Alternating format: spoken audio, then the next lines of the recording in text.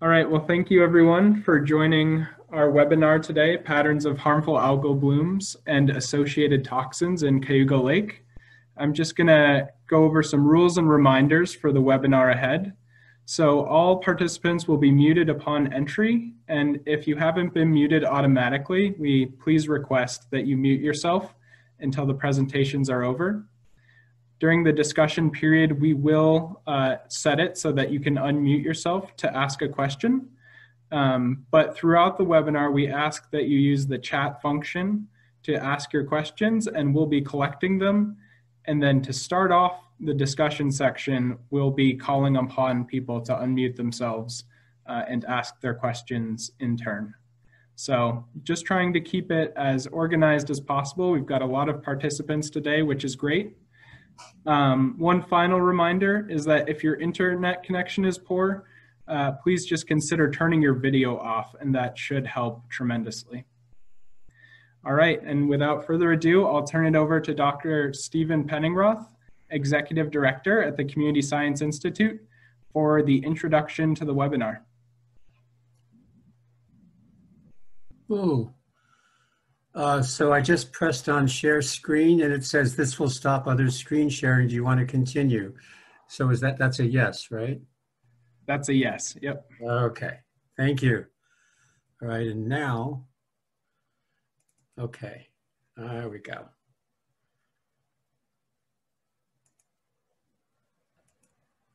Okay, here we go.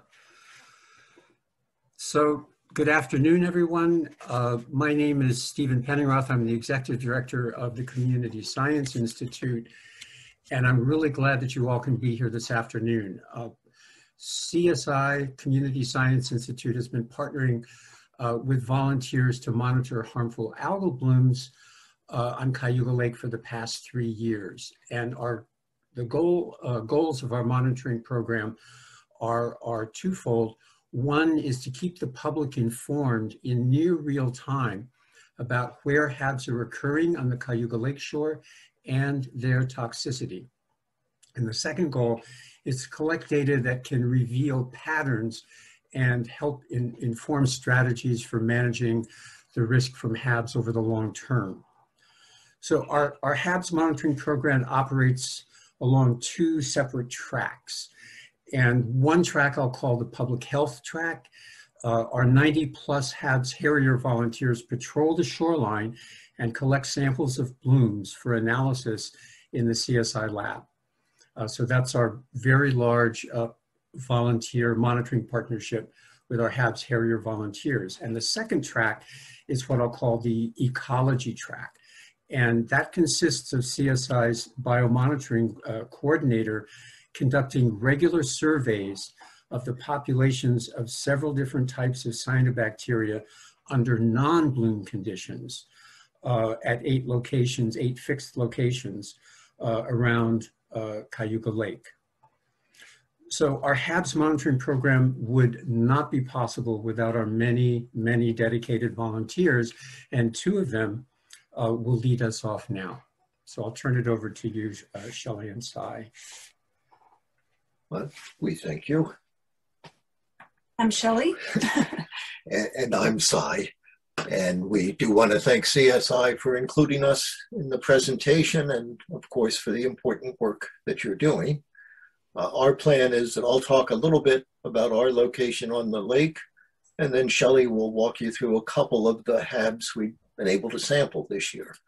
So if the gods are good, I can share a screen. So this is where we're located on the on the water at the north end of the village of Cayuga.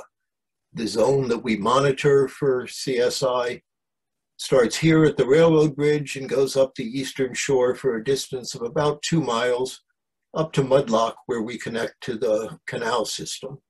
Uh, you'll notice the proximity of Montezuma National Wildlife Refuge and you should also notice this chain of islands, which makes this part of the lake really different than the rest of the lake. It's quite sheltered, and we'll also mention that it's quite shallow. I should say that uh, this year we've also had another HAB Harrier who's been able to help us monitor the southern end of our zone. For reference, uh, this is uh, an Apple Maps uh, satellite image, but what you can see along our zone, there's a marina, a long string of private homes, uh, the locals call them camps, a couple more marinas up to Mudlock. You can also see that that part of the lake is entirely surrounded by marsh area. It really is uh, quite pristine. The other thing I should mention about this image that I like is you can see the dramatic difference along the that's the only part where this lake has, or this part of the lake has any depth at all. Uh, the rest of it is really quite shallow. Here's uh, a water level image. You can see the railroad bridge. Uh, this one is Beacon Bay Marina and the beginning of this string of homes along the shoreline. I'll also point out that the water is remarkably calm, which is not so unusual. It's very nice for those of us who like to kayak. Uh, it's also very attractive to our algae blooms. Uh, just for reference, the opposite shore, this is a piece of the island. You can see the, the marshland and further up, uh, a very nice environment.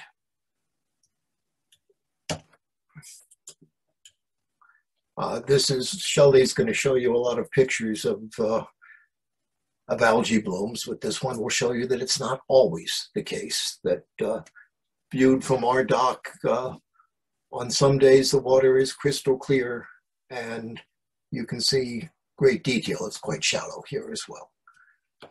This is a, an image from, from mid-January. At this point, they've lowered the level of the lake a little more than three feet. And so much of our shoreline is, is exposed. Uh, you can get a sense of how gradual the slope of the bottom of the lake is here. Uh, we've only got about 18 inches of water here at our bulkhead. And in fact, we could walk all the way out to the channel if we were so inclined. Uh, the other thing I'll mention in this image is the sediment that begins out here, which we imagine is a nutrient-rich sediment that really covers the floor of the lake all the way out uh, through this part of the lake. Uh, for reference, uh, a bit later in the season, uh, this is about a month later, you can see the shallow water is iced over. The channel up here mostly stays open, uh, and we do have some of our favorite visitors. Um, here we're focusing again on our house, but what I want to point out in this image is the amount of plant material that seems to be accumulating in our shoreline. It's a feature of where we live that things accumulate here. And uh, to some extent, we've been able to make use of it. This is uh, early in the season. We've collected, uh, this is sago pondweed, which we've got in great abundance. Uh, we've made use of it for compost and mulch. Uh, and it's a gift that keeps on giving. Uh, later in the season, we've been able to continue to collect. This is uh, an eelgrass, which dominates later. Uh, for reference, on windy days, we don't see the algae blooms, but we do, things still accumulate. And one of the things that some folks are interested in is this foam, which we understand some people think may be related to the to the blooms. Uh, so this is an image from a CSI report. Uh, this is our part of the lake way up here. And what you see is we have an embarrassing number of blooms that we were able to sample this year.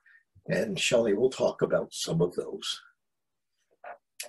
The first bloom I wanted to call to your attention today is our very early in the season, right pretty much at the beginning at, on July 6th. This was our bloom number two.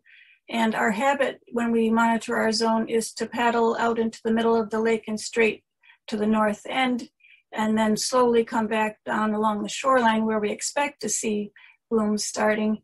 But before we got to the north end eh, or toward the shoreline, we were already seeing a bloom beginning. And this was in the still water trapped among the plentiful sago pondweed, uh, which is proliferating from year to year. And it was a very hot, sunny day, and it was happening quickly. As we approached the shoreline at Mudlock, uh, we could see the, the hab was starting to make streaks along the shore. And continuing south, by the time we got to Cayuga Marina, it was quite intense, and that's where we decided to sample. And further down the shoreline, it was also bad at Lockview Marina. And by the time we got back to our own shoreline around noon, we could see it was beginning to happen there also. Uh, by a little after one, this is what it looked like in our neighbor's inlet. Because it seemed to be such a pervasive bloom, we did check out Harris Park Beach, even though it's not part of our, our zone. It's just a little to the south of us. And it was also quite bad there. Luckily, the beach was closed. So the results from Bloom 2, this shows that it had dense microcystis, which I understand is unusual for that early in the season. And it had a high chlorophyll and also uh, significant toxicity. The second bloom I want to show you was later that month on July 30th, bloom number eight. Uh, the notable things about this bloom was that it started very early in the morning. We often see incipient blooms early before seven o'clock sometimes, uh, but this one by a little after eight was looking quite intense. And this was where we sampled from our neighbor's inlet at that time. The other thing that's notable about this bloom was that it persisted into the next day. Uh, we have a little trouble sometimes distinguishing when one bloom ends and another begins. Uh, so the rule of thumb that we've been using is 24 hours without detecting a bloom. Uh, this was clearly the same bloom. And looking out from our dock at, at that time on the second day, you can see how far out it extends into the lake uh, there are times actually when this whole end of the lake has kind of a greenish cast. And here we show from the, the master results table at CSI, the dense microcystis was also characteristic of this bloom. It had an even higher chlorophyll and a scary number for the microcystin toxin. So it's an attractive place that we live in. Uh, it's attractive to birds and wildlife and to people like us who like the gentle waters to paddle around. Uh, but it's also uh, conducive to habs with the sheltered, shallow, warm, uh, relatively calm, and we think nutrient-rich water. Uh, so to conclude, we, we do have concerns about the lake as a whole and about our little corner of it, but it's still a beautiful place. And just to point out more of the beauty, we'll show a few of Shelley's images of the many, many sunsets you get to watch if you live here. And it is an environment that is worth nurturing. And uh, we are grateful to scientists for helping us find out how to be better stewards. And now we'll turn you over to an actual scientist, Adrianna.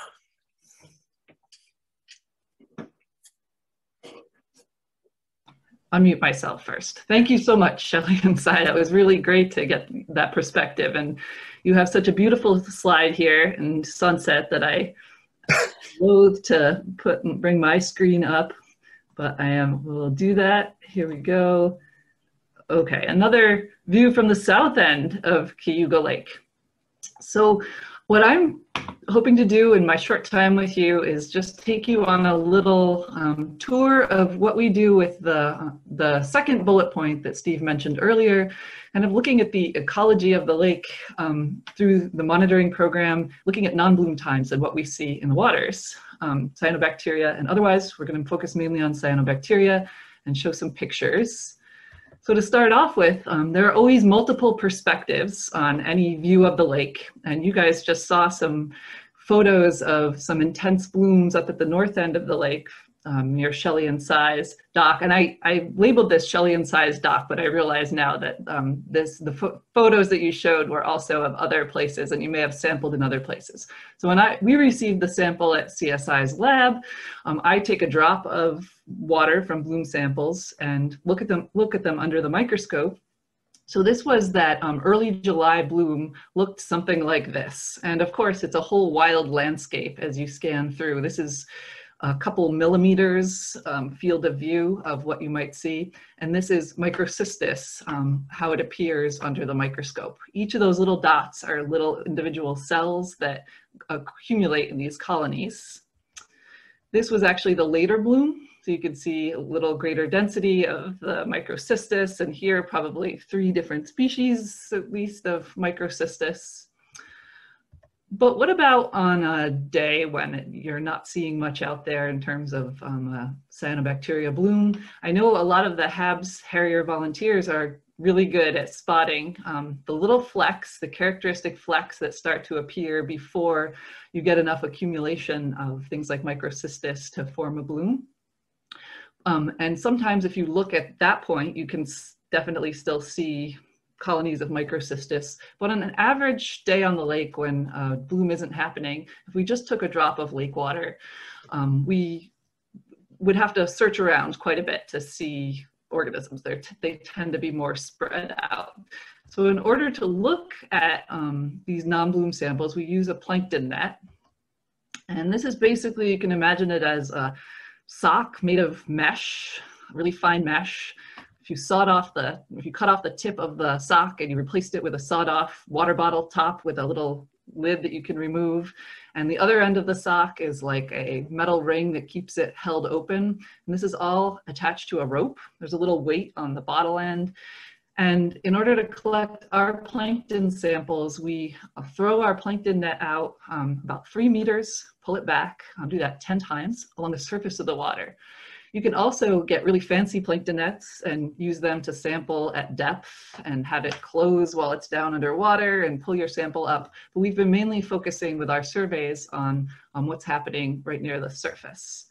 So the mesh size that we use is um, 53 microns, which is pretty small. Um, if you go any smaller than that, things tend to get clogged up. Um, but just to give you a sense, there's about in one micron, there's, uh, or in one millimeter, there's about a thousand microns. And here's an example of a um, microcystis colony being trapped by the mesh of my net. That's about how, um, if this is like 300 microns across this colony, it, this is about what that would look like um, caught on the mesh. So basically the uh, material accumulates in the bottle at the bottom of the net. And this is a slightly different model than the one that we use the, in the picture. Um, but then you take the bottle off at the bottom and we pour it into another sample container, bring it back to the lab and take a drop out of it. This sample that you see is a little thicker than kind of a normal non-bloom conditions. This was actually a sample, I, I took this picture just a couple days ago. It's a leftover sample from July where it was bloom conditions many places on the lake. This was a sample from Cayuga Lake State Park where it was sort of pre-bloom conditions. And when you concentrate it, it gets pretty thick like that. Now this smells really terrible. I wish I could project the smell to you of opening this jar. But basically, um, I just wanted to show this idea of taking a drop and then we look at it under the microscope. This is not that same sample. This is from the Wells College dock from our summer surveys. And if you're getting familiar with recognizing microcystis, you could see that there are some microcystis there. Microcystis tends to look a little darker um, and less colorful than some of the green algae, like this pediastrum, this colony of pediastrum up here. Um, the reason that microcystis and some of the other cyanobacteria that we find in the lake um, tend to be less look less colorful is because they have aerotopes in them, these little gas vesicles that allow them to regulate their buoyancy and move up and down in the water column. Here's some Dolichospermum. So this is another common bloom-forming cyanobacteria that we find in Cayuga Lake. This is an interesting picture because the center of it has an accumulation of akinetes, which is sort of a resting stage for cyanobacteria, for some cyanobacteria. So they can, um, when conditions are not so great for them, they can go into this sort of resting form and then kind of come back later when things look better. So just um, to give a brief introduction to what are cyanobacteria, um, Microcystis and Dolichospermum are the main um, bloom-forming cyanobacteria that we have in we find in Cayuga Lake.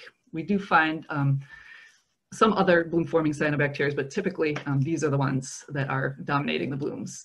And the Microcystis um, blooms tend to be associated more with the microcystin toxin that we find at the lab. So cyanobacteria um, are prokaryotic organisms, so they have no nuclei, and they're very ancient. They've been around since early Earth.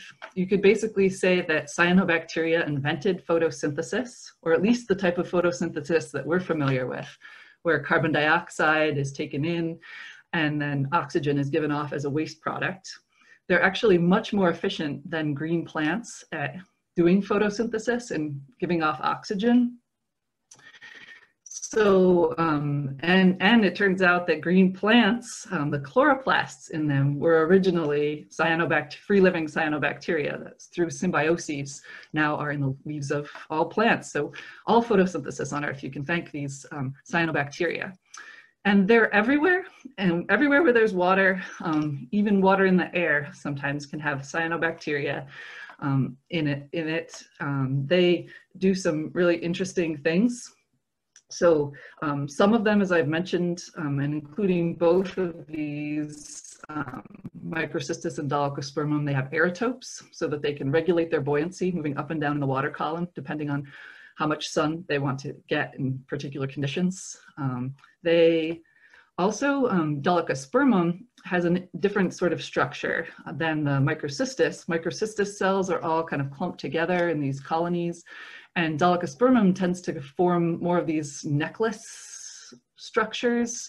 Sometimes they're tangled, sometimes they're neat little um, spirals. But Dolichospermum also produces both the akinetes that I've mentioned already, these sort of resting cells, and also heterocytes, special cells where they fix nitrogen from the atmosphere. Um, there aren't many organisms on Earth that can do that, um, and they are able to then um, utilize that um, nitrogen that's abundant in the atmosphere, but can be a limiting nutrient for growth. Um, oh boy, it's so hard. I, as I mentioned earlier, I could talk for I could talk for a day probably about cyanobacteria, and this is the danger of my uh, of me going too long. But I just want to make sure I cover some of the basic pieces of this. One other important factor I think to understand about cyanobacteria is that they don't reproduce sexually, um, so that the way that they um, reproduce, they are sort of clones of each other, but they are able to sort of mix DNA um, in a way that bacteria does, which is um, they can basically, essentially by bumping into each other, can share DNA, which is very different than organisms like us who have all their DNA packed neatly into nuclei. So um, for example, the creation of toxins can be shared um, between different species sometimes. So not all microcystis may be producing microcystin toxin, but um, they, they can do it and potentially they could even share that information with other um, cyanobacteria. Okay, now I'm going to move on because uh, Dolichospermum and microcystis are not the only cyanobacteria. This is actually a close-up of microcystis still lingering there, um, but I like the picture because it shows, um, gives a little bit of a sense of the aerotopes, which are actually very hard to see sometimes under the microscope. You're looking kind of almost for a little glint of red gleaming out, um, but it helps you identify microcystis and some of these other um, bloom-forming cyanobacterias. Here's a nice photo of Dolichospermum where you can see the heterocytes and akinetes, another one with heterocytes, slightly different form. And then um, there are other cyanobacterias that we see out there. Um, and while none of them have been our main bloom-forming cyanobacteria now, um, who knows if that could change at some point in the future. Oscillatoria um, are really interesting. They're filamentous. It's this little sort of snake-like thing coming out of the bottom.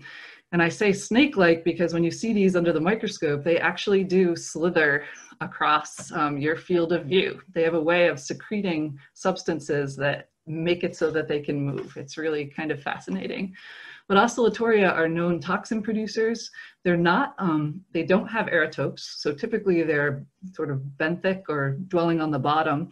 Although this summer at East Shore Park, I started seeing clumps that were oscillatoria floating on the surface. So maybe through the oxygen that they're producing, creating little air bubbles, they're able to float on the surface at times. And back in 2019, there were like three dog deaths um, in one day on this particular pond in North Carolina, and they were associating those deaths with oscillatoria. Here's some more oscillatoria from this past summer at East Shore Park. Um, and um, there's another cyanobacteria that looks really similar to oscillatoria, but it actually does have aerotopes and it can be bloom forming. There are places um, where I've seen blooms, not in our area, but other places um, formed by Limnoraphis, also produces some different toxins. And this one has a sheath around it, so otherwise it looks very similar to Oscillatoria. And um, this is some more Limnoraphis amidst some uh, Microcystis. Aphanizomenon has this interesting way of, uh, they're filamentous, but they also form these clumps. Um, and we've seen um, an Aphanizomenon bloom in a local pond um, recently.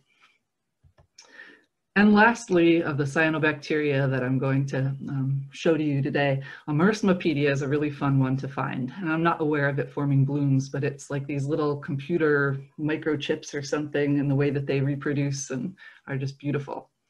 And then there's a little fragilaria up there in the corner.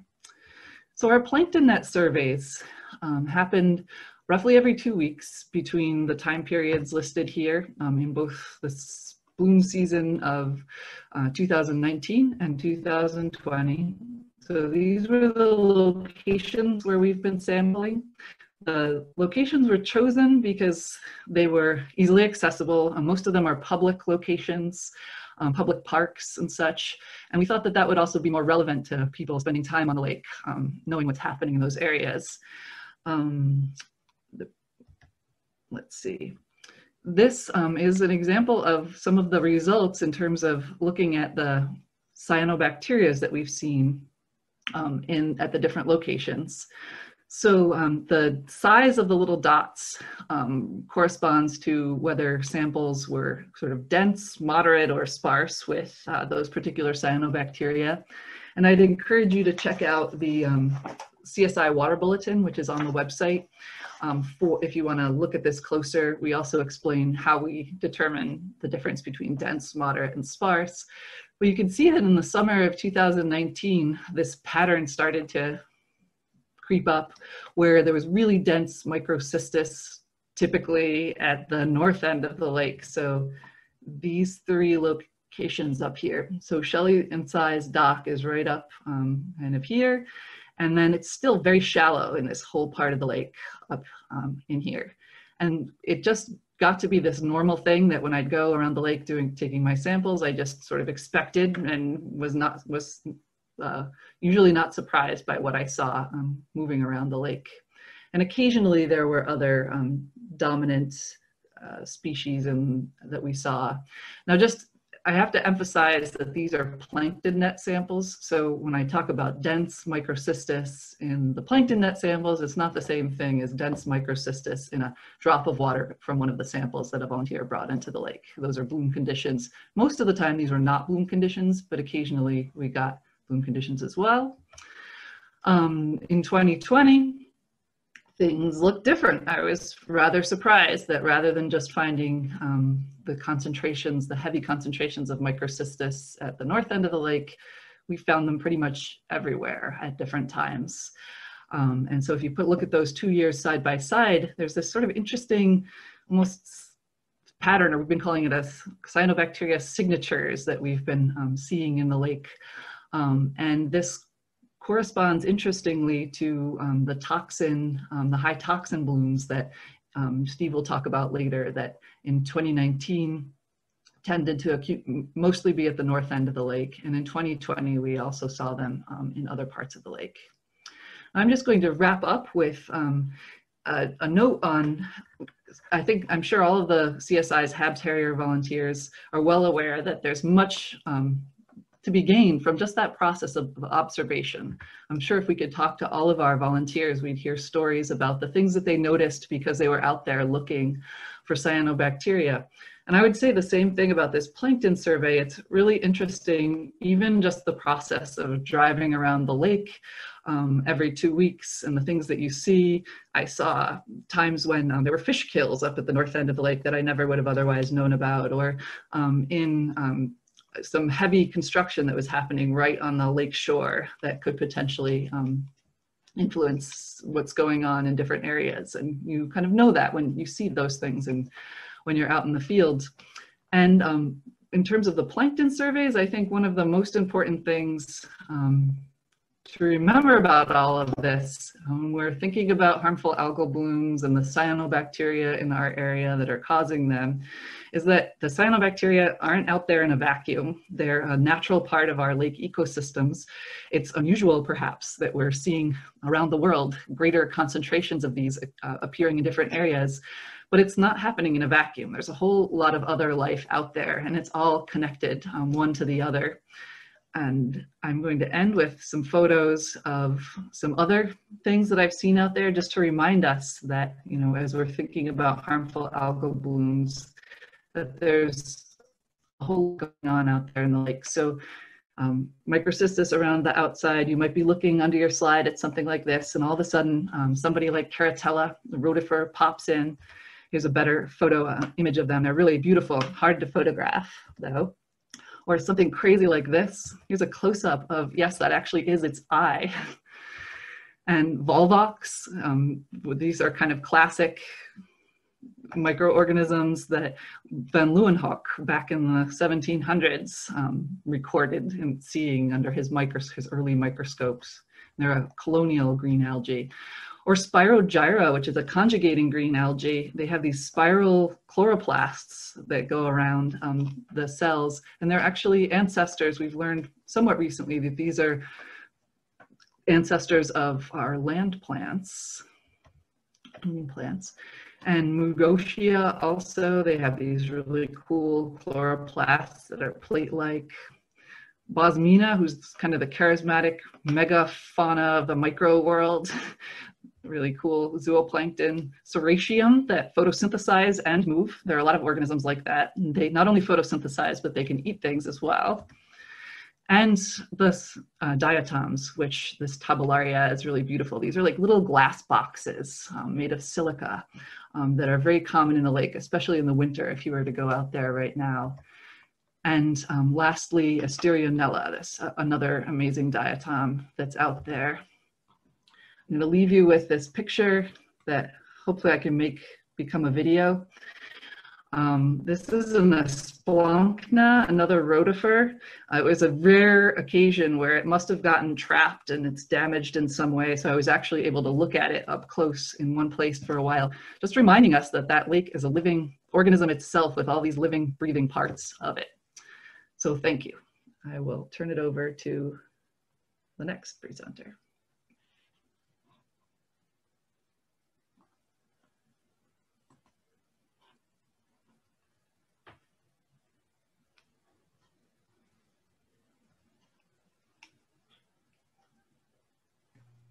Great. Thank you, Adrianna.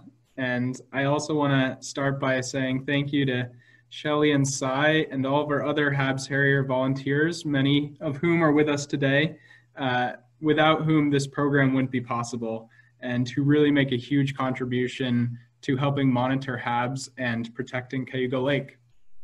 So today I'll be providing an overview of our volunteer harmful algal bloom monitoring program and some of the results from our 2020 uh, bloom monitoring program.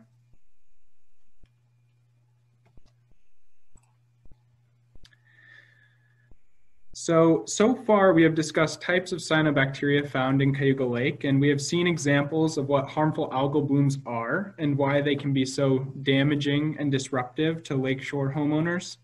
Uh, but what is a harmful algal bloom? Um, and it's hard to kind of describe, but harmful algal blooms, or HABs for short, are the rapid growth of cyanobacteria populations or the accumulation of cyanobacteria concentrated to a local area. Uh, they can often look like uh, pea green soup or surface scums on the water, like those pictures that Shelley and Si showed you. Um, and this means that those intense blooms that was shown during their presentation are the result of the dense accumulation of the individual cyanobacteria cells and colonies that Adrianna was showing pictures of. Now, these blooms are called harmful because cyanobacteria can produce toxins, as we've discussed, and those toxins can be present at high concentrations uh, during these dense accumulations. They're also called harmful because they can damage the local economy by, for instance, disrupting tourism and recreation, and because they can cause ecological damage and disruption. Now, this rapid growth or accumulation is different than the modest growth that occurs as part of a natural seasonal cycle. Shown below is a simplified chart showing the natural seasonal succession of phytoplankton populations, including cyanobacteria, in freshwater lakes throughout the year. And you can see that different types of phytoplankton, their population naturally tends to increase uh, throughout the year, and that the population of cyanobacteria in a lake naturally tends to increase right around the summer months. Um, but again, this natural increase in population in a lake is still far lower than kind of the spike in population or the dense accumulation of cyanobacteria that results in what we call a harmful algal bloom. And the factors that promote these blooms are still under study, um, and they can be numerous. But there is general scientific consensus that cyanobacteria population growth increases at higher water temperatures, uh, that nutrients such as phosphorus and nitrogen have been shown to promote cyanobacteria growth, and that still calm and stratified waters tend to facilitate the formation of dense surface blooms. Uh, on the flip side of that, though, prevailing winds can sometimes lead to blooms uh, because they cause cyanobacteria to accumulate on specific shorelines. So in 2017, there were many reports of harmful algal blooms on Cayuga Lake, and this caused widespread concern about the health of the lake and the impacts that these blooms might be having. Uh, and in response to this emerging water quality threat, the Community Science Institute implemented the Cayuga Lake Harmful Algal Bloom Monitoring Program in collaboration with the Cayuga Lake Watershed Network and Discover Cayuga Lake. Now, the purpose of the program is twofold.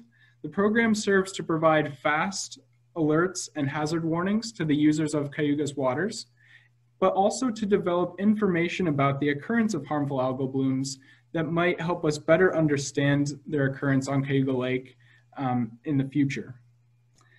And so the program is a partnership of these organizations and volunteers around the lake. And these volunteers, titled HABS Harriers, attend a two hour training session in June where they learn how to identify harmful algal blooms and collect a sample. And then following this, they monitor a section of shoreline on the lake once per week from the start of July until the end of September. If they don't observe a bloom during their weekly survey, they file what's called a no bloom report, signaling that the shoreline is clear of harmful algal blooms. However, if they do observe a bloom, they report the date, the time, and the location immediately and also send pictures of the bloom. And then they also collect a sample of the bloom and transport it to CSI lab for analysis. Here at the lab, we test the blooms to determine the type of cyanobacteria that formed the bloom, uh, to measure the level of total chlorophyll A, which is a measure of bloom density, and to measure the concentration of microcystin toxin.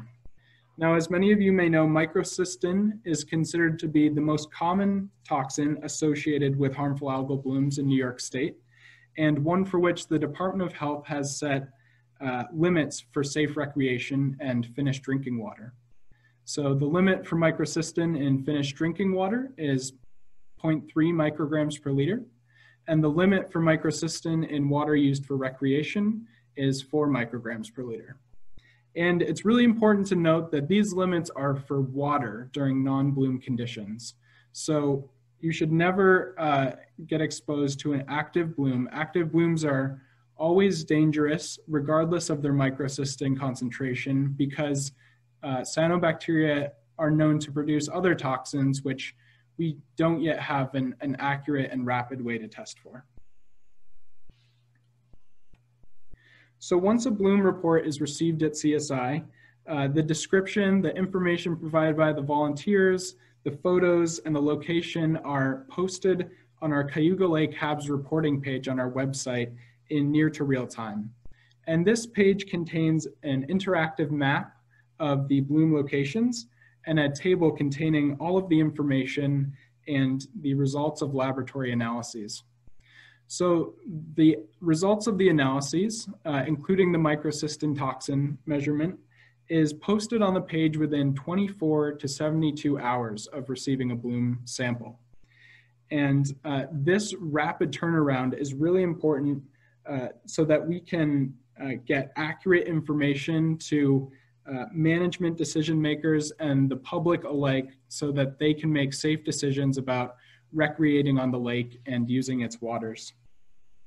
And then to further inform and alert communities around the lake about current and recent harmful algal blooms, the Cayuga Lake Watershed Network sends out weekly updates uh, in which they include uh, the most recent record of harmful algal blooms and the results of lab analyses, and also uh, some really useful information about uh, local beach closer, closures and anything else that you might need to know about the current status of harmful algal blooms on the lake. And each week, bloom data collected through our program is also sent to the New York State Department of Environmental Conservation, and they post this data on their statewide NYHABS reporting system so that people across the state and even across the country can be alert to when and where these blooms are happening. So over the past three years, our harmful algal blooms monitoring program has grown steadily. In 2020, over 90 volunteers participated in the program and they monitored 83 lakeshore zones, which covered roughly 50% of the entire lakeshore on a weekly basis. Um, this past summer, our Cayuga Lake HABS reporting page received over 40,000 views, which demonstrates that it is a widely used source of accurate information for harmful algal blooms on Cayuga Lake. And further additions to the program this year include the publication of a Cayuga Lake Harmful Algal Bloom Information and Reporting Guide uh, in the form of a brochure. And these brochures have been stocked in weatherproof holders at six lakefront parks so far. And we hope that these brochures will serve as an important outreach tool to inform lakegoers about harmful algal blooms, how to recognize them, and what to do if they encounter one.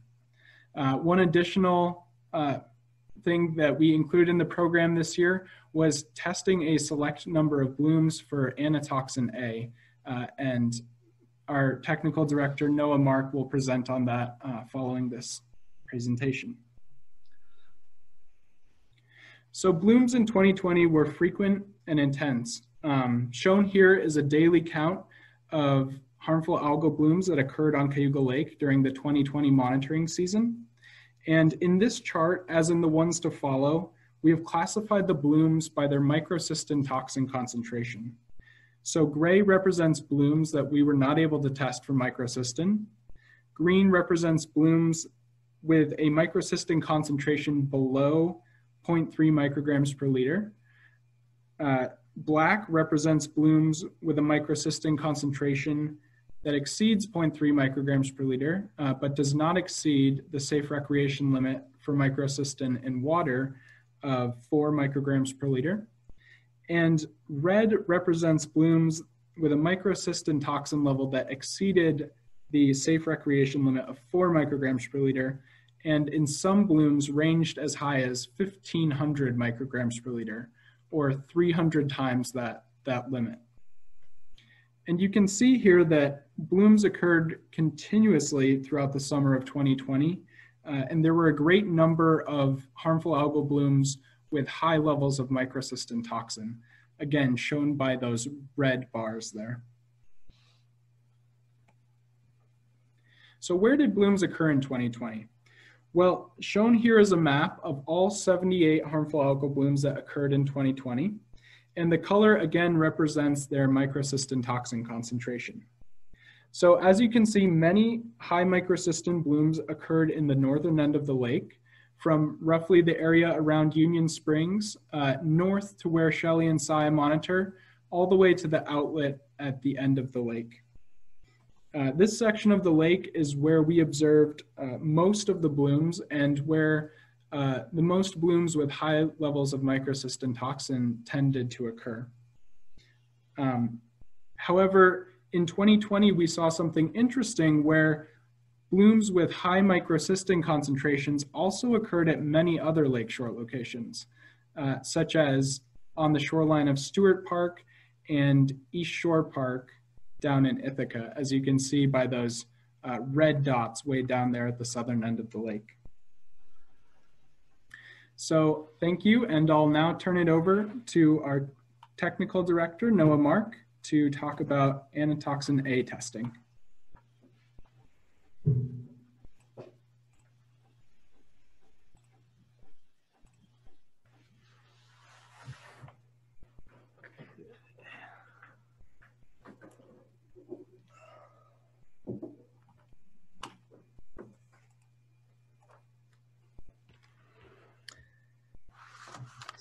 hi everyone. I'm Noah Mark. I'm CSI's technical director. I typically work behind the scenes, uh, but today I'm here uh, to talk to you about uh, the anatoxin work we conducted last summer. So, of the cyanotoxins that have been found in New York, uh, microcystin tends to get the most attention, and rightfully so. It's been commonly found throughout water bodies in the state and at alarmingly high concentrations. However, from a management standpoint, anatoxin A might uh, be considered second in priority because of its association with animal deaths. In fact, uh, before anatoxin A was called anatoxin A, it used to be referred to as a causing agent with very fast death factor. Um, uh, we may have seen uh, this past June uh, anatoxin A's deadly nature in action there were two dog deaths that occurred on Little Lake, uh, Little York Lake in Cortland. An autopsy of one of the dogs showed uh, that she had ingested a cyanotoxin. I couldn't find specifically in the, in the news which cyanotoxin, but from the owner's account, um, the dog went into a seizure and then she uh, unfortunately passed within about 45 minutes. So that seems reminiscent of livestock deaths that have been linked to anatoxin A contaminated waters, but again, we can't know for sure. Um, another, besides its deadly nature and it being a neurotoxin, another reason why CSI was interested in looking at anatoxin A is it's known to be produced by a variety of cyanobacteria, including those that have dominated uh, blooms on Cayuga Lake in our three years of monitoring. So one trait of this toxin um, is that it has a very short half-life. It makes it difficult to sample because it degrades very rapidly in direct sunlight and high pH, which are kind of the natural conditions that uh, surface blooms are going to be exposed to. Um, so we doled out our usual amber glass bottles that we uh, give to our volunteers to collect HAB samples, but these uh, to select volunteers, we gave them with uh, a preservative that acts as an acidic microbial inhibitor. And so volunteers collected samples from July to September. We got 19 samples in total, and we tried to capture a variety of bloom compositions and then look at whether there's any association with um, anatoxin A and a single genus or genera. So as far as testing goes, um, we use the same antibody-based ELISA technology uh, for anatoxin A that's used to test for microcystin. Uh, we got a range of about 0.18 to 1.3 micrograms per liter and a median of about 0.4 uh, parts per billion or micrograms per liter. So looking at the microscopy analysis for these samples, the presence of anatoxin A doesn't appear to be associated with just one genus. We don't see that kind of tight correlation um, between toxin concentration and the presence of, say, microcystis like we do with microcystis and microcystin. So in looking at the concentrations that we got and trying to put it in context, um, we can certainly say that we saw low concentrations compa uh, compared to bloom concentrations of microcystin. However, when you get into what constitutes a dangerous level of anatoxin, it really depends on who you ask. Uh, currently, the EPA and New York State don't have guidance on um, on anatoxin in ambient water. And then individual states like Ohio and Virginia, um, they can vary greatly on what poses a threat to recreational waters. So um, because of the uncertainty, the avoidance strategy prescribed by the state when encountering a suspicious bloom still applies. Like it, we don't fully know um, what could be there. Even if a bloom, say, tests low for microcystin, there could be another cyanotoxin present. And um, going forward, CSI may continue to sample and test for anatoxin A in the future. Um, it's partly commiserate with funding and interest, but I'll just leave it at that for now. And I'll pass the baton to Steve, who's going to talk about three-year trends. Okay, thank you, Noah. I'm going to try my hand at screen sharing. Let's see. Here we go. And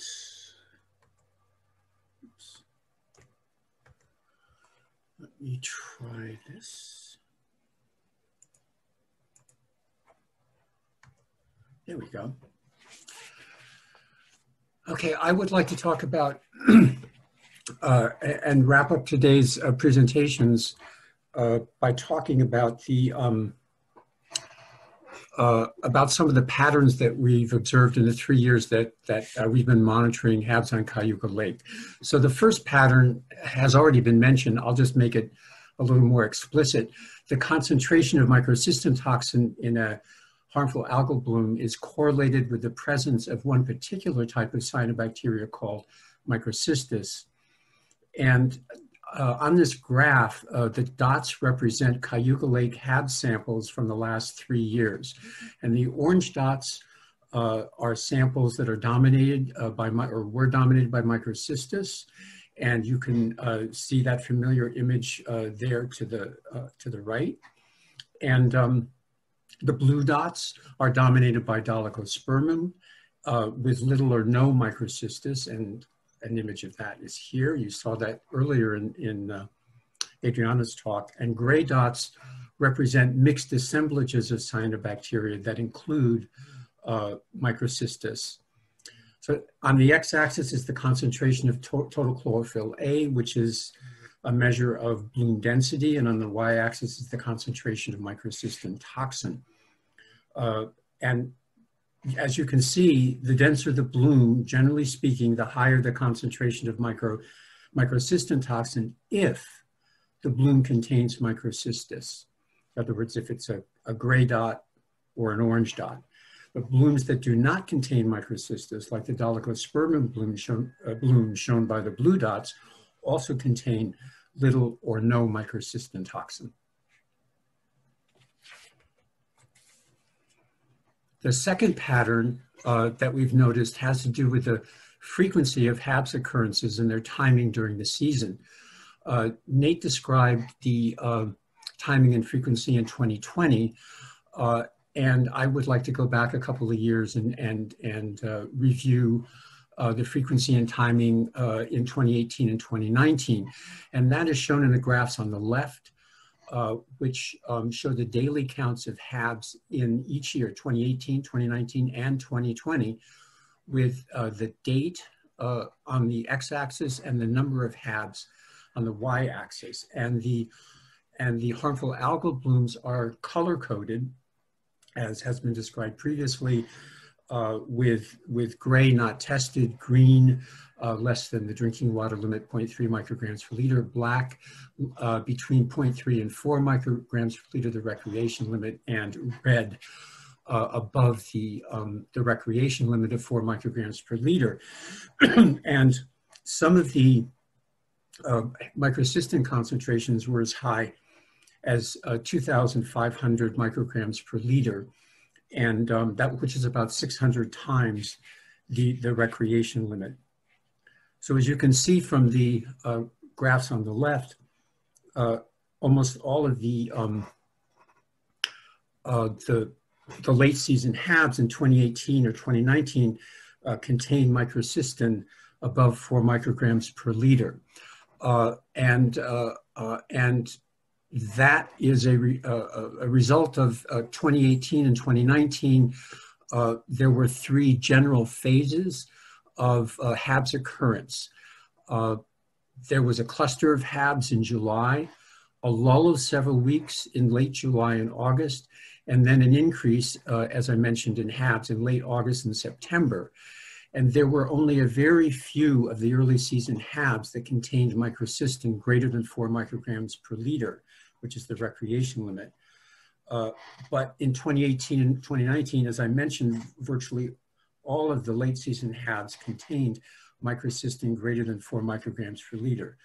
But now look at the bottom graph, uh, the, the, the, pattern in 2020, it changed uh, and we saw uh, high microcystin HABs throughout uh, the season from July to September.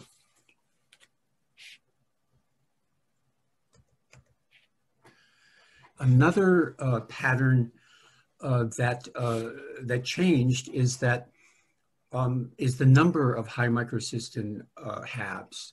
And this graph shows the number of blooms in each microcystin category in 2018, 2019, and 2020. And as you can see, in 2018, there were 22 high microcystin blooms. In 2019, there were 28. And in 2020, there were 55, which is almost twice as many as, as uh, 2019 and 2018. So another change in 2020 was in the di distribution of high microcystin HABs around Cayuga Lake. And uh, the, the images uh, on the map uh, in this, in this uh, uh, figure uh, show the zones in gray that were patrolled by HABs Harrier volunteers and the number of each zone.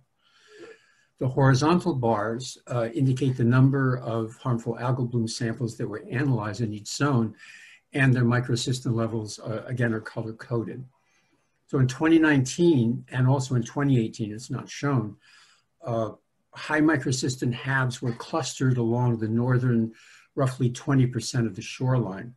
In 2020, this northern cluster was observed again, but in addition, high microcystin HABs were found along the southern, uh, roughly 80% of the Cayuga Lake shoreline, including Stewart Park and East Shore Park in Ithaca.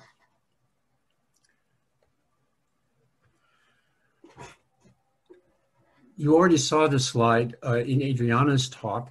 Uh, it's from the ecological track of our, uh, of our Cayuga Lake HABs monitoring program. Um, and it shows that uh, under non-bloom conditions, populations of microcystis um, become more dominant, became more dominant in the southern 80% of the lake shore in 2020 compared uh, to 2019. So this uh, suggests a correlation between the greater distribution or the more widespread distribution of high microcystin blooms in 2020 and the greater distribution of dense uh, non-bloom microcystis populations uh, uh, around the lake. But to be clear, this is a correlation. It's only a correlation. We can't say whether there is a cause and effect relationship. So to review, during the past three years, virtually all of the cyanobacteria blooms on Cayuga Lake with high microcystin exceeding the recreation limit were dominated by or contained significant concentrations of the genus Microcystis. A large number of high microcystin blooms tend to occur each year in the northern fifth of Cayuga Lake, uh, from Union Springs to the outflow of the northern marshes. In 2020, however, we also observed a number of high microcystin blooms around the southern four-fifths of the lake, which is consistent with a general increase in non-bloom uh, microcystis populations. So in closing, I'd just like to provide some context for our Cayuga Lake HABs monitoring program. I believe Nate already touched on this. Uh, our program fulfills many of the recommended uh, actions in the Cayuga Lake HABs action plan uh, published by DEC in 2018. Our community-led effort serves as a model, really, of uh, HABs uh, monitoring. And it's one of the few programs uh, that continues to test levels of uh, microcystin toxin following the DEC's withdrawal of support, financial support for microcystin testing. Uh, we are able to test for microcystin because as uh, Nate and um, uh, Noah mentioned, the CSI lab is certified for EPA method 546. And because so far we've been able to raise enough money to do it. The tests are expensive. Uh, and finally, uh, we're proud of our HABs reporting system. We think it's one of the fastest and most comprehensive in New York State. So with that, I'd like to turn it back over to Nate. Great. Thank you, Steve. Um, so now we'll open it up to a discussion section and we will start that by uh, asking upon some of the folks who have asked questions so far to unmute themselves and read their question aloud if they would like to. Uh, if they would like me to read their question, I'm happy to do so. Um, so Jim Long asked a question. Jim, if you'd like to unmute yourself and ask it, that would be great.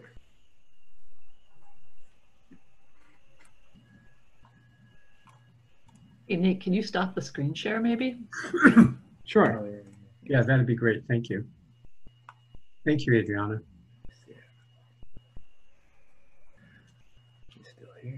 You still? All right. Well, I'll just I'll ask it right now. This one might be a good one for Adrianna. Uh, Jim wrote, "Can anyone say something about the bloom that lasted many weeks last summer in the pond at the boathouse in Stewart Park?" Yeah, there was a big bloom there for quite a while, and I, hmm, a lot of times when we looked at what was happening over there, it wasn't necessarily cyanobacteria, but I think sometimes it was. And I'm sorry that I don't have my notes right here to um, look into that, but um, there were a lot of euglena too in um, at different times. So it wasn't always cyanobacteria, um, but it looked pretty gnarly over there. And um, yeah, sorry, does anyone else have anything else on that? Did we test any of those samples? Do you remember, Nate? Yeah, so we we uh, ended up testing one of the samples from the Stewart Park Pond.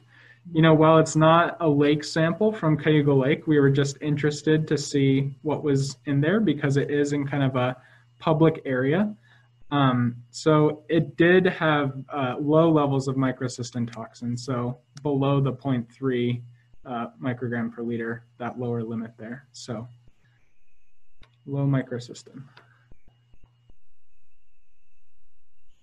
Great. Uh, Douglas Merrill uh, had a great question. Uh, Douglas, if you'd like to unmute yourself and ask it, that would be great.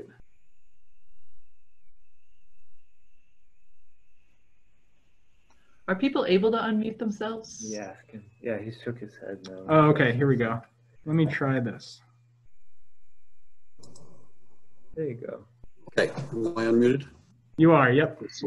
Yeah, I had a question for, um, for Adrianna about how one differentiates the, the three levels of, of, of cyanobacteria. You had uh, sparse, moderate, and dense. Do you use a micrometer or, or how do you get to those differentiations? Yeah, so this is um, a little bit loose. Um, let me, but it's, okay, so the sparse is when I'm looking at a field, in a field of view of, I think it's 0.1 milliliters um, for the average drop that I'm looking at. Um, sparse is fewer than 10 individual colonies or clumps or filaments are present. So this is more, um, yeah. And then the sparse, let's see, moderate is more, more than 20 individuals. So sometimes we have this sparse moderate where it was kind of in between like 10 to 20 colonies or clumps or filaments. Um, and then dense is, so more than, so moderate is more than 20, but it's under the field of view at any one point. You're not um, seeing a whole lot, right? And you have to actually look a little bit. You're not seeing them in every field of view. Dense is like when it's really clearly in just about every field of view. Usually there's three or more um, colonies or clumps that are present. So yeah, we had to figure out a way without quantifying because that's a little bit difficult and it might be a little bit misleading because um, it's not an exact science using the plankton net out there. This is more of a sort of naturalist view of just taking a look at what we see at different places at different times. There are ways you can quantitatively look at plankton, um, but it requires uh, expensive equipment that we don't have at the lab right now and a lot of time as well to do that. So. Okay, thanks.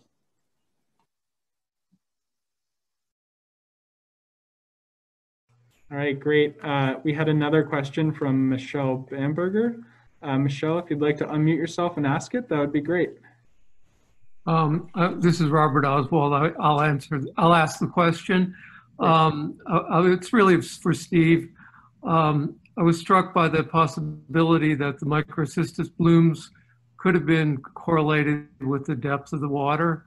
And uh, the second part of the question is, is do you ever see any correlation between agricultural runoff and blooms?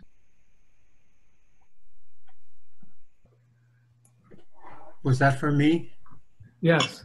Oh, okay. Um, okay. Uh, correlation with agricultural runoff. I would say, well, first of all, we're not looking for it. And uh, uh second, I think it would be hard to uh, determine uh, agricultural runoff goes into the streams, which goes, you know, which flow into Cayuga Lake.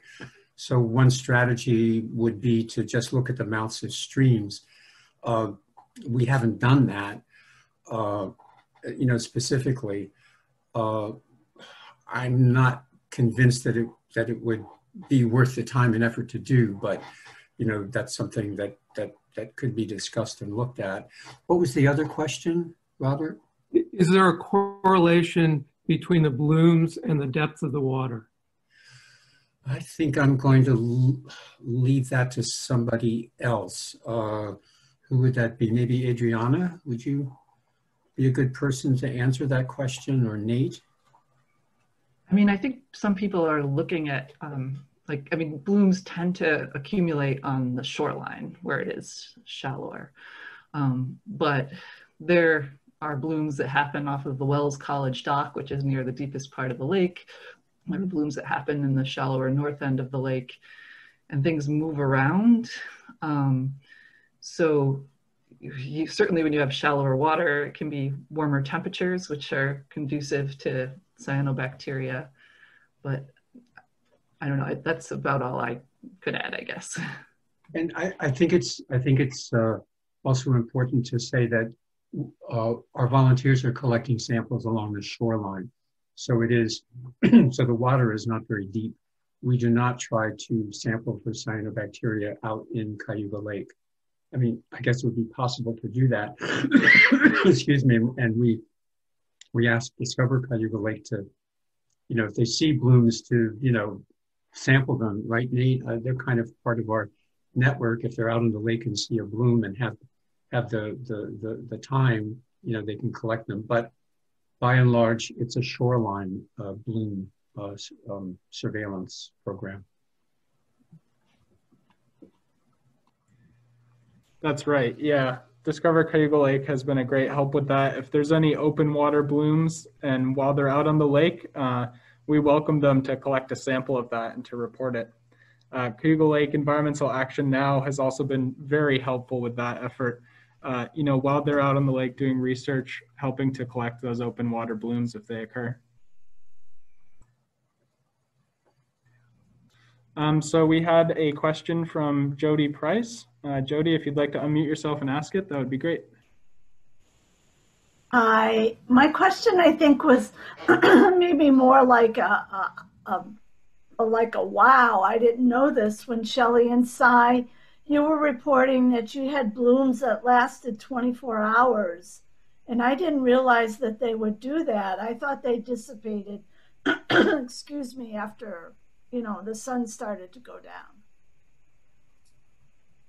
Well, it, it does. I did. uh, it does uh, get harder to detect any blooms as the sun goes down. Uh, I'm not sure what they're doing at that point, but when it occurs early the next day and came back with a vengeance the way that it did in that one uh, instance, I did have to, we did have to consult with Nate to determine, okay, is this a new bloom or a step or the same thing? And, and I think with some consultation, we decided that we'd wait 24 hours in between without a bloom before we would consider it a separate bloom. But it was definitely the conditions were persisting. The wind was was not, you know, the, usually when the wind kicks up, it does dissipate. But in these conditions, it was just very still and very hot and, and sunny during the day. So the conditions were right for it to persist, it seemed. That's good to know as I look for them in our area. Thank you. Yeah, sure. Great. Thank you. Tom St. Clair had a great question. Tom, if you'd like to unmute yourself and ask it, that would be great. Sure. Uh, uh, do we know if these types of blooms have been occurring for many years, or, or, are they something relatively new, like in the recent past? I, I just I'm kind of wondering if they were going on for a couple hundred years, 500 years, two years. I, I don't really have a sense for that. Yeah, that's a great question. Um, and it's a hard one to answer. Uh, certainly because many of these kind of comprehensive harmful algal bloom monitoring programs really began in the last kind of decade or so. Um, and that's when we started to get this really good record of harmful algal bloom occurrence. Um, you know, I think that harmful algal blooms have occurred for a long time, um, although there we don't have very many historic, you know, comprehensive records of them. Um, I might also open this up to any HABS Harriers or Lakeshore homeowners who are out there. Uh, you know, if you remember these blooms happening in the past or not, um, or have any stories about that, you could unmute yourself and comment.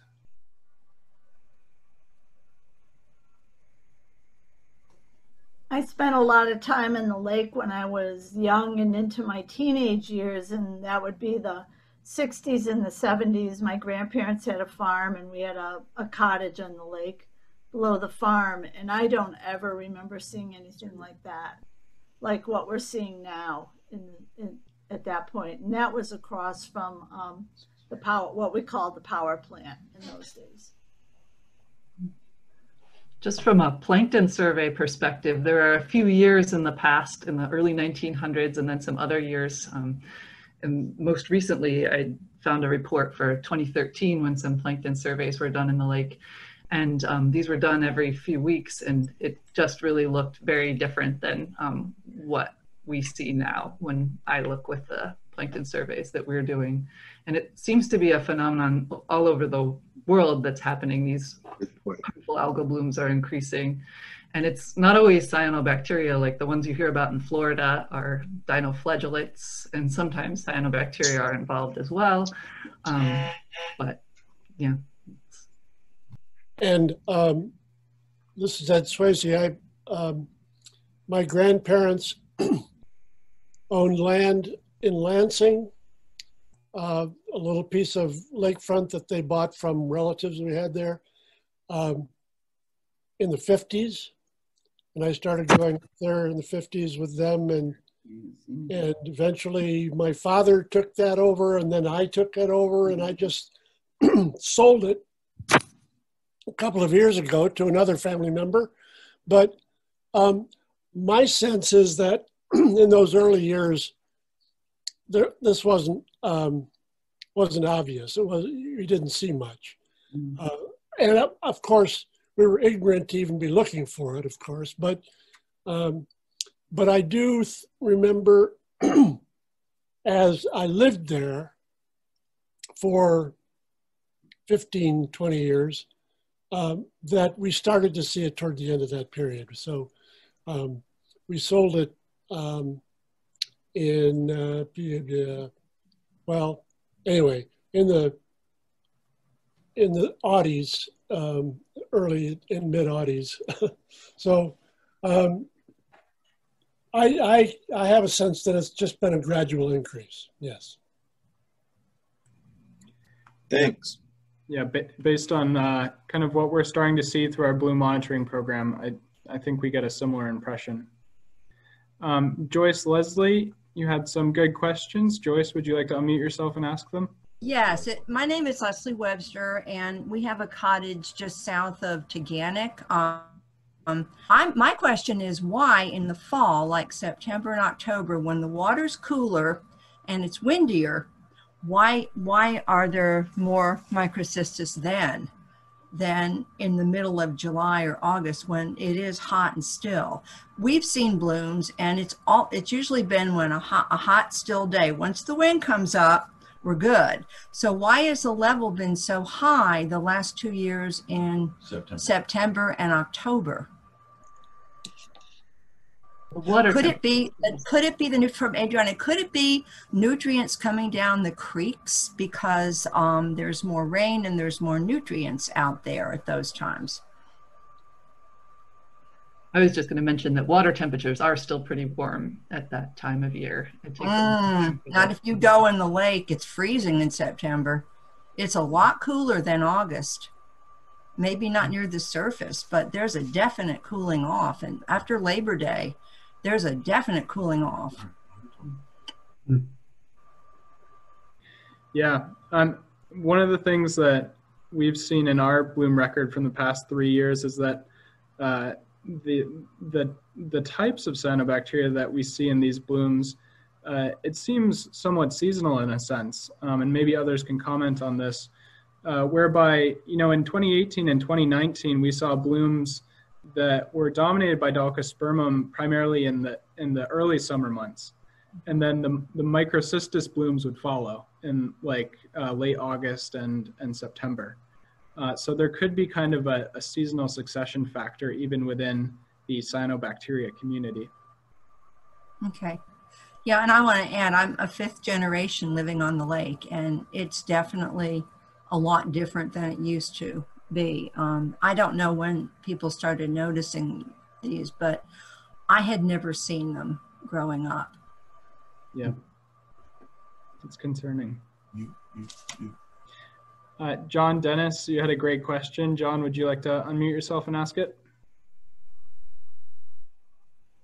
Sure, thank you, Nate. Uh, you know, I thought of a second question. So the first question was just, uh, do does do the folks at CSI think that water temperature, warmer water temperatures, and phosphorus are the key drivers of blooms on the lake?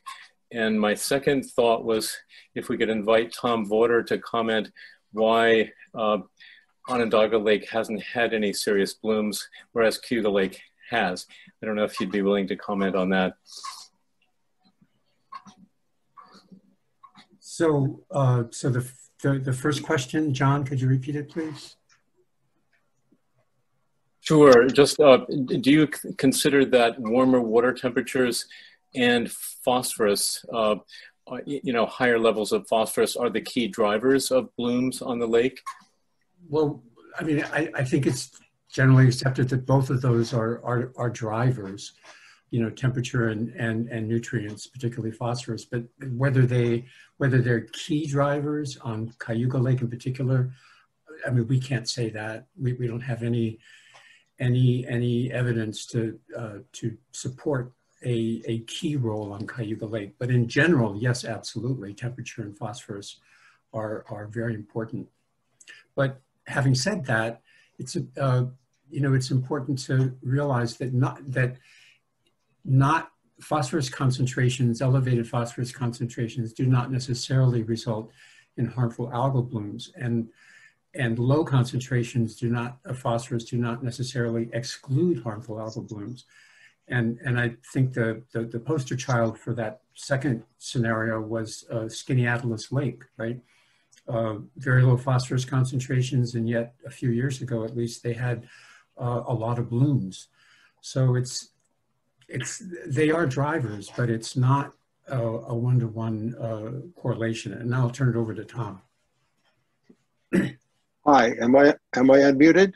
Yes, I should be. Uh, that's an interesting question about uh, the relationship between ni nitrogen and phosphorus in uh, causing blooms. Onondaga Lake uh, historically was notoriously prone to uh, harmful algal blooms in the late summer and, and autumn. Uh, was at one point considered the most polluted lake in the country, I think. But in the process of, of solving those problems, the um, Metro wastewater treatment plant in Syracuse, which was the source of many of the nutrients entering the lake, introduced a process that um, got rid of the ammonia that was going into the lake, which is a toxin, of course, to most things, converting it into nitrogen, nitrate nitrogen. Now, the uh, cyanobacteria, some of them, as I, I, think Adrianna pointed out, have the ability to fix nitrogen uh, from its rather unavailable state in the atmosphere and, there's and therefore dissolved in the water. And by that means, they they gain some advantage over the other kinds of algae, the competitive advantage over the other kind of algae in the lake.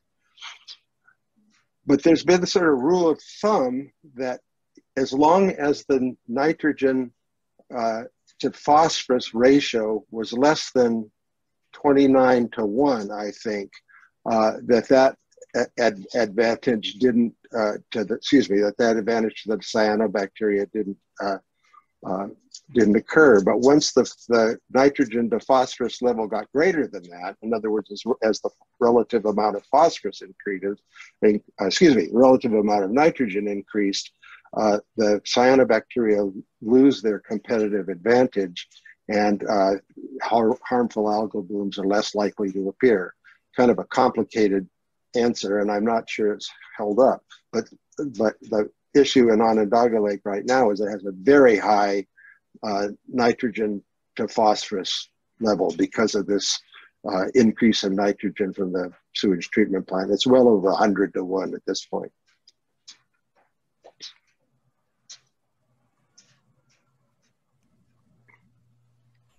Thank you. Yeah, that was great answers to that question. Uh, Kathy Quit has a question. Kathy, if you'd like to unmute yourself and ask it, that would be great. Thank you. Um, we have grandchildren down quite often, and um, it's obvious when the water's dark green that there's an algae bloom, but how do we know when it's safe for them to enter the water and swim again? We've just been going by color. Yeah, that's a really tough question and something that a lot of people struggle with. Um, what I'll give you an idea of kind of what the New York State parks do for, uh, you know, how they manage swimming at public beaches. So what they do is that they wait 24 hours after a bloom has dissipated, has completely gone from the shoreline. Um, so no swimming within 24 hours of the last sighting of the bloom. And then they collect a sample uh, and test it for microcystin to make sure it's below that four microgram per liter limit. And then if it is, um, then they uh, reopen the beach for swimming. Uh, so I guess what I would say, you know, it's always never, you know, go swimming when there's obvious signs of a bloom. Um, and, you know, following their lead, a good rule of thumb, maybe, you know, even waiting 24 hours uh, after a bloom has uh, cleared. Thank you.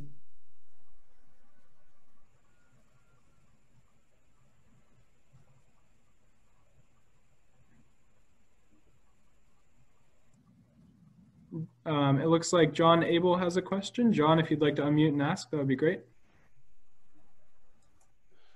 Yeah, it, um, I have a kind of a naive question, um, but uh, I was just wondering with climate change, we're seeing increases in CO2 concentrations in the air and probably in the water.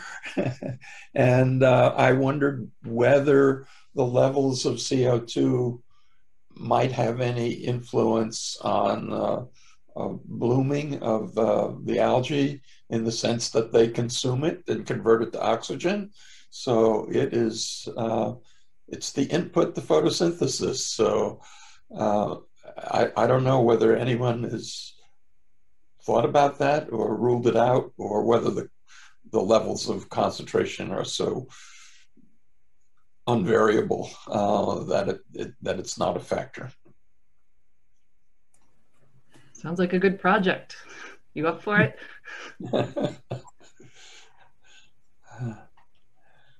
That's an interesting question. You can test well, it in the lab. It, it, it, it, it, I wondered, for example, whether in midsummer, uh, when the trees are uh, very busy photosynthesizing, that they're competing for the CO2, and in the fall when they're declining, uh, that maybe the CO2 concentrations go up because there's less competition for it.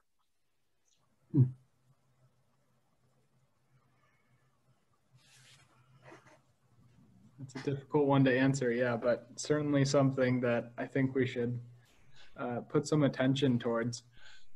Yeah, I, I think it relates to a larger question that some of us have who are harriers uh, as to whether the, there should be other things that we're measuring when we sample, such as uh, water temperature uh, and things like that. I, I, I, don't think there's easy ways to monitor CO2 concentration, but um, but uh, I you know I just uh, we have this wonderful experiment going on with lots of input and uh, and yet we may be missing some important parts of the data is uh, my thought. Yeah, John, uh, we've we've uh, uh, often talked uh, in in, uh, in in our lab at CSI about measuring temperature, uh, also about measuring nutrients in in blooms. Nutrients are Uh, that that's uh, you know really really tough to do uh, accurately or, or meaningfully because the the algae them, or the, the cyanobacteria themselves contain nutrients. So, you know, when you when you uh, how, how do you separate the the nutrients in the ambient water in a bloom from the nutrients in the cyanobacteria, which have begun to die and release nutrients by the time uh, they're collected and brought to the lab, and certainly after they're processed in the lab. Uh, so, so that's a so nutrient analysis of blooms, I think, is is is tricky. Um, as far as temperature goes, yes, that's a much more accessible uh, parameter. Uh, I think the nutrients, uh, but again, to do that meaningfully, um, I mean, you'd have to measure. We, would have to devise a protocol for temperature measurement that is uh, reproducible uh, among you know all the volunteers and have thermometers that will presumably give accurate measurements i don't know within tenths of a degree perhaps um, that i'm not sure that's necessary but it but you'd think that small temperature fluctuations might be important and uh, one possibility that we've talked about is having a, a continuous um, temperature uh, logger, let's say, at, at, at, one location on one dock or, or a couple of docks. I believe they're doing that over on Seneca Lake. Uh, I don't know what the results are. Maybe somebody else knows, but uh, they are doing uh, something like that in their HATS program on Seneca Lake. So those are really good questions, really good thoughts. It's just, um, it, but but it's hard to do. You know, hard to do well. And um, just to piggyback off of Steve's comments, um, you know, most of us are interested in the conditions leading up to a bloom, which, you know, as we all know, these things are really difficult to forecast where they're gonna where they're gonna occur. So that's that's just another uh, piece of the puzzle, I guess. You know, we could look at we could get data from you know the ma- like the the matrix that the blooms are occurring in. But I think a lot of us are interested more in like what's the conditions that lead up to this uh, population explosion that occurs, and yeah, it's just really hard to uh, logistically very hard to do. So, yeah. Um, yeah, should move on to the next question. Sure. Um, Please do. can, can you hear me? Uh, we're gonna move on to. Hello, uh, Noah. Alex. Hey, Alex. Hey. Yeah, we can hear you. We can- Hey, so sorry, I just uh, butted in. Uh, I'm I'm Alex, uh, senior analyst at uh, CSI. I just uh, can I quickly uh, comment on the uh, CO2 question? Sure, sure. Yeah, go for it. Yeah. So uh, if we think of the kind of uh, input and output of, of CO2, I mean, I mean in general, uh, uh, globally, uh, right? So we see an increase of CO2, uh, hence global warming. So um, means that our input of CO2 is greater than whatever the trees and cyanobacteria can kind of consume in terms of um, um, their uh, uh, photosynthesis. So uh, it would be probably uh, uh, uh, unlikely that uh, CO2 is a limiting factor in that sense.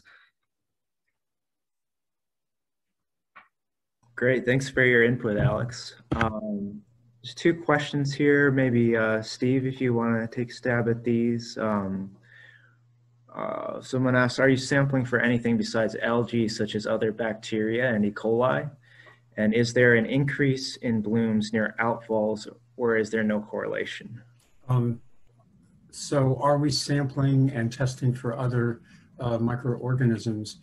Uh, well, uh, first, Adrianna, of course, is surveying micro phytoplankton, all different types of um, eukaryotic and prokaryotic uh, phytoplankton. Uh, we do uh, test for E. coli. We uh, team up with Discover Cayuga Lake and go out on uh, two or three eco cruises, monitoring cruises uh, each summer. And one of the parameters that we measure at, at uh, seven different locations on the lake where we sample is E. coli. So yes, we are measuring E. coli on the lake and the levels are quite low. Uh, 235 colonies per 100 ml is the limit for uh, recreational swimming, uh, contact recreation, and uh, as far as I know, all, all of the concentrations on Cayuga Lake are well below that limit. Um, so uh, that's the answer to that question. What was the rest of the question, please? Or the other question, the second one? The other half of the question, um, or I guess different question, is Is there an increase in blooms near outfalls, uh, or is there no correlation? I'm not aware of any correlation. Uh, outfalls, you probably mean outfalls of wastewater treatment plants. Um, and uh, actually, our Habs Harriers would probably be the best ones to answer that because they're the ones that you know patrol uh, the shoreline and they know where the wastewater treatment plants are, the outfalls, uh, generally speaking. Um, just a, a, a, quick comment, there are two wastewater treatment plant outfalls at the south end of Cayuga Lake, both of them in the basically the center, the middle of the, uh, of the shallow southern shelf. As far, again, we do not test uh, or, or as, as a rule sample for um, HABs in open water in Cayuga Lake. Uh, that said, I'm not aware of blooms uh, above or near those outfalls uh, or uh, above or near the uh, Lake Source cooling outfall, which we also monitor. Um, so, but Habs Harriers, what what say you you're, you're the ones that are patrolling the lake. You you, you have firsthand observations.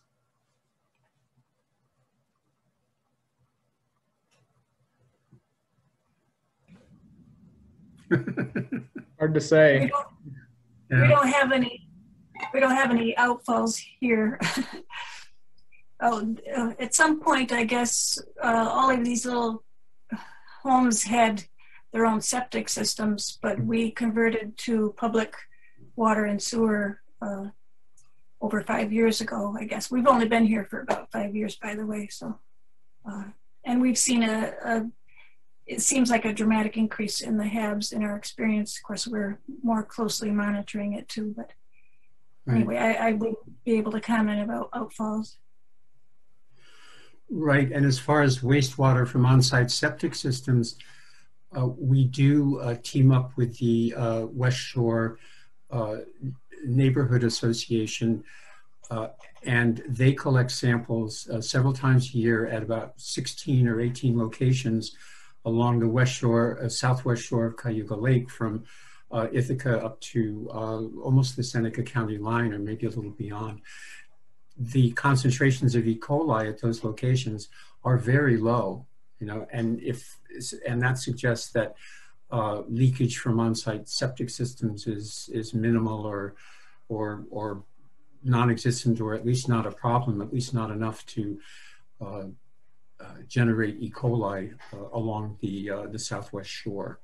So I don't know if you can extrapolate that to the rest of the shoreline, uh, but the evidence that we have from that small stretch of Cayuga Lake shoreline suggests that there is not a problem with uh, on-site septic systems possibly, uh, you know, feeding nutrients into blooms.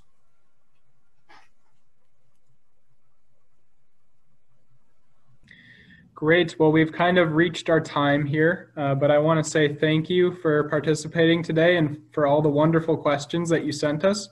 We still have some more, uh, and so we will get to those questions following this webinar. Uh, we'll respond to you via email. And I'd also like to welcome any other questions that people didn't get the chance to ask today. Uh, please just send us an email at the Community Science Institute, and we would love to discuss it with you.